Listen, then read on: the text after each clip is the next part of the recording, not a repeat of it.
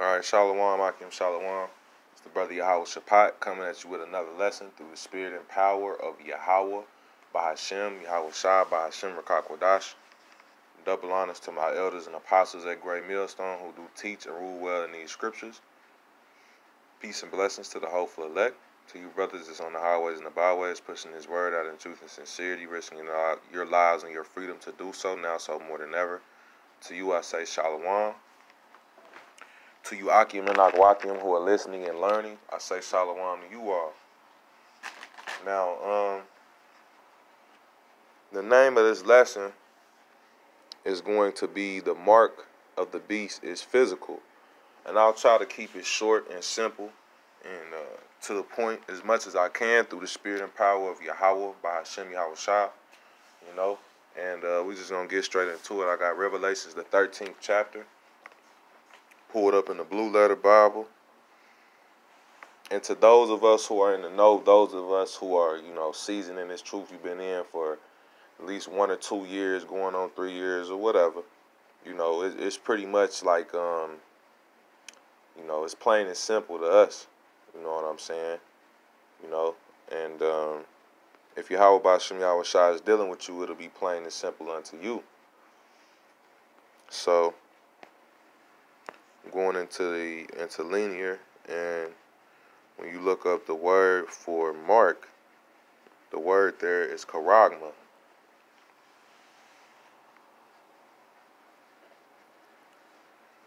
Now, just to cut to ISUPK, um, they always say that the mark of the beast is Christianity or, or an embargo.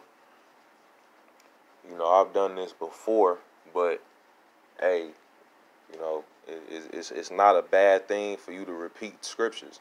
It's not a bad thing for you to review things that you've taught before. You know, uh, I've heard Elder Apostle Gabar say this a lot of times. Repetition is the father of skill. You know what I'm saying? So to repeat something is going to make you skillful in that thing, whatever it may be. You know, that's why they say practice makes perfect. You know what I'm saying? So it says, uh, I'm going to play it so brothers and sisters here can hear it. Strong G 5480, Charagma. Charagma. We say Karagma, they say Karagma. You know, same thing. Let's go to the Strongs. It says a scratch or etching, i.e., a stamp, as a badge of servitude or sculpture, figure, statue, graven, mark. Because when you look into the history, which which let, let me first clarify this: the mark of the beast is going to be a physical thing. It's going to be a scratch or a marking or etching in your flesh. If you get a chip in your flesh, they're gonna have to cut your flesh to insert the chip. You know? Like it's akin to like when you go to the club and they stamp your hand to show that you paid to get in. That way, if you walk out, you can come back in without being uh, having to get checked. It's like a stamp or a sketching, or uh, you know, and it, and it says here the the charagma, the mark of the beast. It'll be used as a badge of servitude, meaning that you're dedicating your servitude to Esau, the so-called white man, and to his beast system. You know. So the mark of the beast is a physical thing. It's and just like to just to break it down, I'm gonna get that. I'm gonna try and pull that precept up. Uh,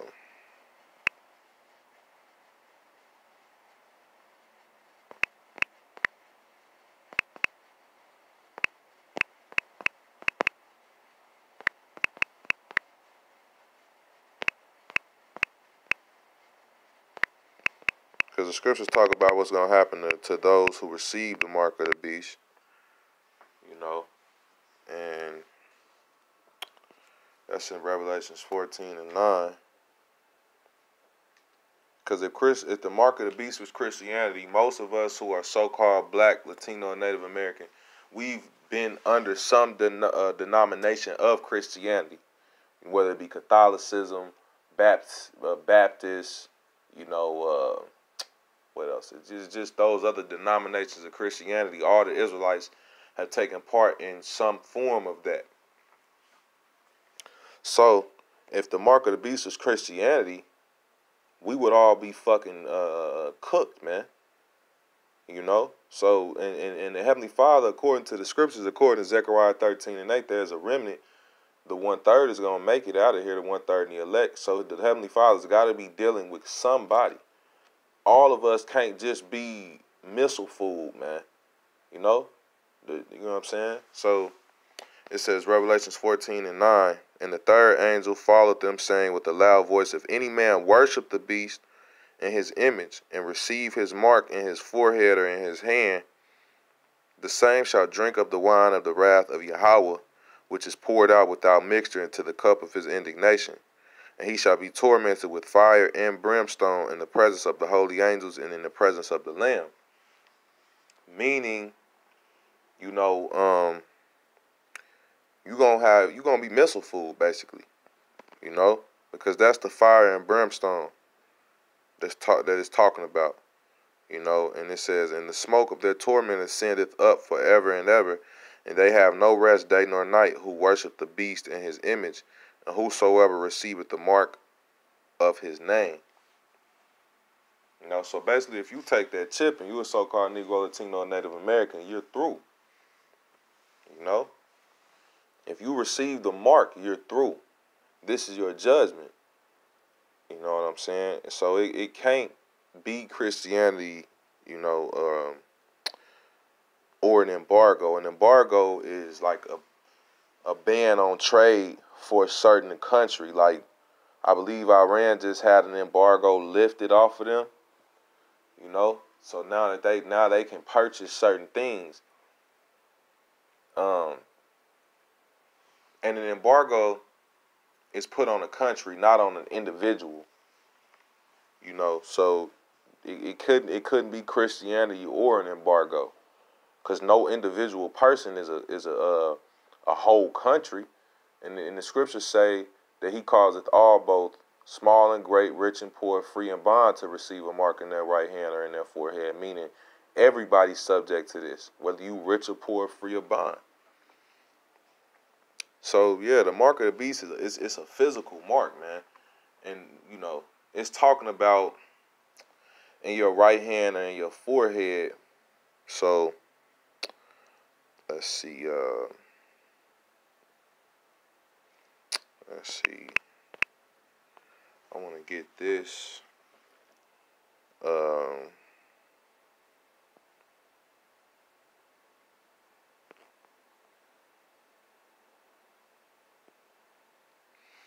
about this guy named Ian Burkhart because this is some this is what's what the mark of the beast is gonna incapable is gonna uh, make people capable of doing. And that's why a lot of people are gonna take it. A lot of Jakes are gonna take it. A lot of Edomites are gonna take it. Salakia, Salakia. Uh, hopefully this this article doesn't take you know forever to, to load up. But the Heavenly Father is going to give Esau, the so-called white man, the power on the left-hand side to perform certain miracles by way of his beast technology. You know, and uh, this guy got a brain implant, which goes back to Revelations 13 and 16. As a matter of fact, skip the article. No, we'll cut that. Basically, the guy Ian Burkhart, he's a guy who got a brain implant, and um, what that brain implant allows him to do is, whereas he was physically enabled, you know, and paralyzed, he can move certain parts of his body due to that brain chip implant that he got. You know, and it's uh the same. Te- it's that beast technology, and that's why the scriptures say they going you know the, the mark is gonna be put in either into your right hand or into your forehead. You know, so again, that that that mark of the beast is physical, man. It's not something that's, it, you know, it's tangible. It's a tan- it's, it's a literal tangible thing that's gonna be forced and pushed out on all so-called U.S. citizens, man. They plan on basically trying to chip anybody and everybody, and if you're not gonna take that chip, you're gonna either be put to death or thrown in a prison.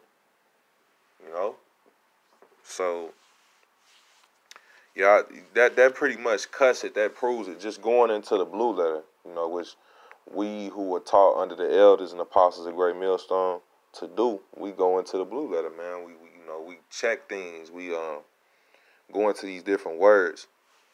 You know, we have to to get a full understanding of these scriptures because the scriptures weren't written in English first. They were written in Hebrew first and then in Greek. So you're gonna have things that are lost in translation. You have to go into the blue letter Bible. You got to go into these words and break them down.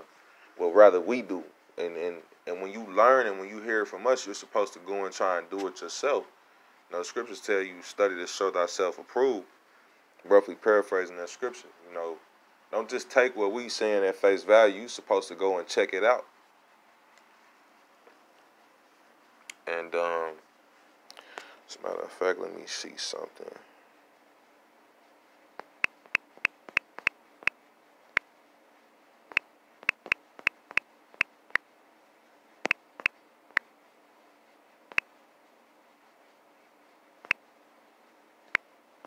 Bear with me, Aki and Baba.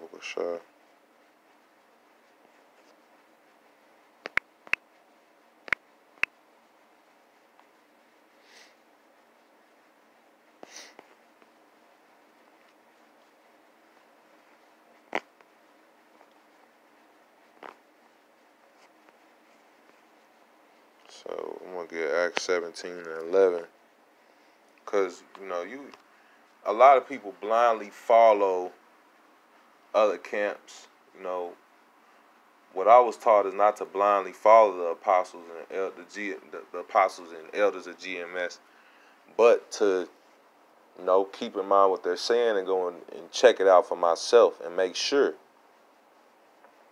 you know and and that's and who those of you who are learning from us the men who are under great millstone under that banner or under the, you know we teaching that doctrine you you're supposed to go check and make sure that we not telling you a lie man. Because a lot of these these guys from these other camps they go off and they push that on on, on, on israel and then you know they end up sending a lot of people off. And then when we you know brothers uh, and the apostles and elders and brothers come out and, and make a correction, then everybody like, okay, well, damn, yeah, that's because you were supposed to be going into that was, and then that's their fault too. They're supposed to be teaching you how to, you know, hey, go into these scriptures, go into these different words. You gotta, you gotta check things for yourself, man. You know, kind of like um, when you get your food from the drive-through. You know, you if you got it, if you in your right mind, you don't just roll off because shit, man. You might something something might be missing from your bag. They might have gave you might have ordered two burgers. They gave you a bag as one burger. Now you got to check to make sure things are are what they're supposed to be. So let's see. Uh,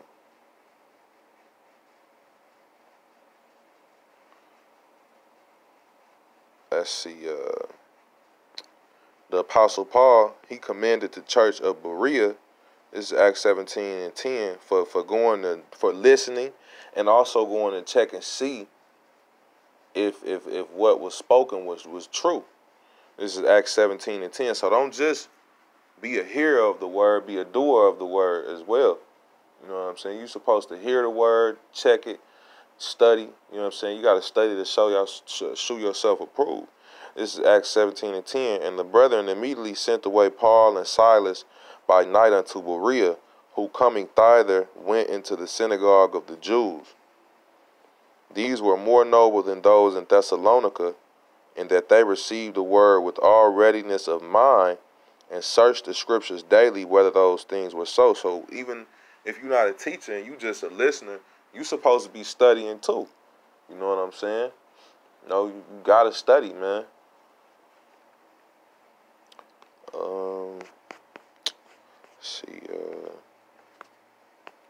this is Revelations 1 and 3. Blessed is he that readeth, and they that hear the words of this prophecy. You So you're supposed to read and hear. It says, and keep those things which are written therein, being a doer of the word and not a hearer only, for the time is at hand. So don't just listen, study. Don't just study, do according, act accordingly once you you know you know how to act you know what I'm saying? According to the Holy Scriptures. But with that, I'm going I'm to close out, man. That's really pretty much all I got. You know, and until the next one, I say shalom. Hopefully, this lesson was edifying through the spirit and power of, of Yahweh by Hashem Yahweh Shah, by Rakakwadash.